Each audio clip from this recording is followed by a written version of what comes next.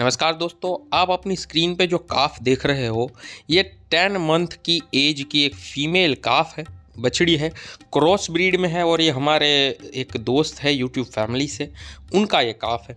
अब उनका सवाल ये है कि इस काफ को क्या टोनो बूस्ट, ये जो दवाई आती है टोनो बूस्ट, एक सप्लीमेंट है, फ़ीड सप्लीमेंट, वो देना चाहिए या नहीं? अब टोनो बूस्ट पहले तो आता किसके लिए है वो हम जान लें।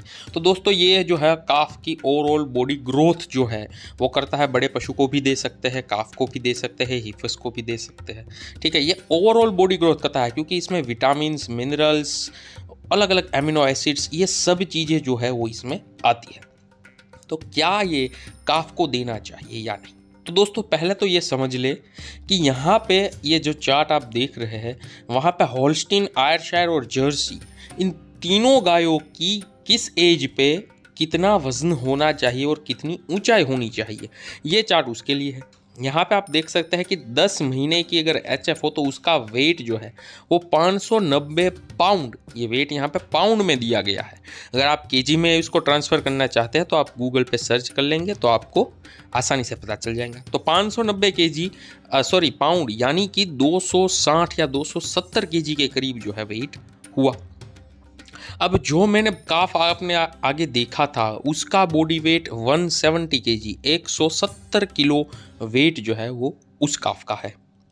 और यहाँ पे हम देख रहे हैं कि 10 महीने की आयु में होल्स्टिन फ्रीजियन गाय जो होती है, उसका बछड़ा या जो फीमेल काफ होती है, उसका वज़न 590 पाउंड यानी कि 270 केजी हो जाना चाहिए। तो 270 केजी अगर वेट उसका हो जाता है तो वो ठीक ठाक जो है, वो जो एक माना जाता है कि इतना होना चाहिए, एक स्टैंडर्ड जो माप माना जाता है, उसके मुताबिक खड़ा हुआ है। पर वहाँ पे काफ का वज़न इससे 100 के कम है। ठीक है, यहाँ पे चार्ट में आप देख सकते हैं, हर एक गाय का आयर शेयर हो होल्स्टीन हो या जर्सी हो, उसके काउस का किस एज पे कौन सा बॉडी वेट होना चाहिए, ये यहाँ पे दिखाया हुआ ठीक है दोस्तों तो अब हमारे उस काफ का तो बॉडी वेट सौ किलो कम है। पर दोस्तों, ये ना भूले कि वो क्रॉस ब्रीड है। यहाँ पे अगर आप इस चार्ट में देखोगे तो ये गिर गाय का चार्ट है। तो यहाँ पे अगर आप देखोगे तो 12 मंथ्स यानी कि एक साल की उम्र में उसका वेट जो होना चाहिए मेल है तो एक केजी और फीमेल है तो एक केजी के आसपास वेट होना चाहिए।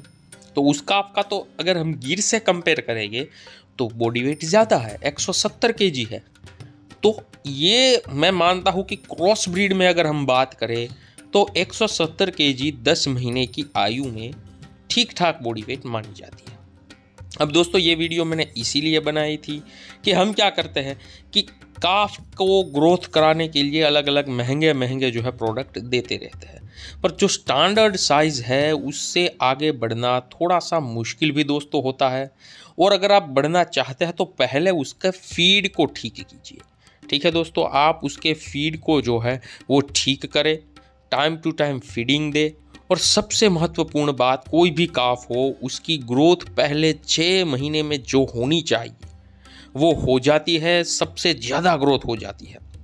बाद में जो ग्रोथ होती है दोस्तों, वो धीरे धीरे जो है देखने को मिलती है। तो पहले छः महीने तक खास आपको काफ का ध्यान रखना है, क्योंकि वहाँ पे आप उसको मिल्क पिलाते हैं और उसके साथ साथ टाइम पे डी वॉर्मिंग करना मिनरल मिक्सचर देना काफ स्टार्टर देना, ये सभी चीज़ें आपको सीखनी होगी। अगर आपको आजकल एक प्रॉफिटेबल डेयरी फार्म बनाना है तो ठीक है दोस्तों? तो आशा करता हूँ कि वीडियो आपको पसंद आई हो। अगर कुछ सवाल आपके मन में है तो आप मुझे व्हाट्सअप भी कर सकते हैं या कमेंट भी कर सकते हैं। और हम ऐसे ही वीडियोस जो है, वो साइंटिफिक इन्फॉर्मेशन के साथ डेरी फ़ार्मिंग कैसे की जाए, वो हम लाते रहते हैं। तो प्लीज़ चैनल को सब्सक्राइब ज़रूर कर लें। धन्यवाद।